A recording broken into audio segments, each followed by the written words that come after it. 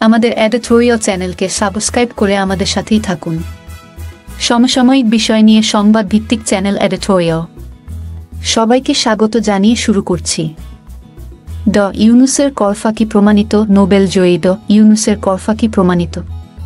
এনবিআরকে দুই হাজার এগারো সাল থেকে দুই হাজার তেরো সাল পর্যন্ত কর ফাঁকি বাবদ এ তিন বছরের জন্য বকেয়া বারো কোটি টাকারও বেশি পরিশোধ করতে হবে তাকে। কর নিয়ে এটি দ্য ইউনুসের বিরুদ্ধে হাইকোর্টের প্রথম রায়।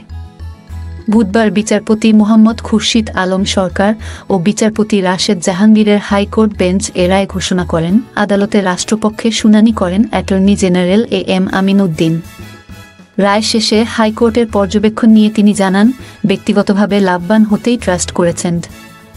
ইউনুস, মৃত্যুভীতি থেকে টাকা দেওয়াটা তার একটি কৌশল।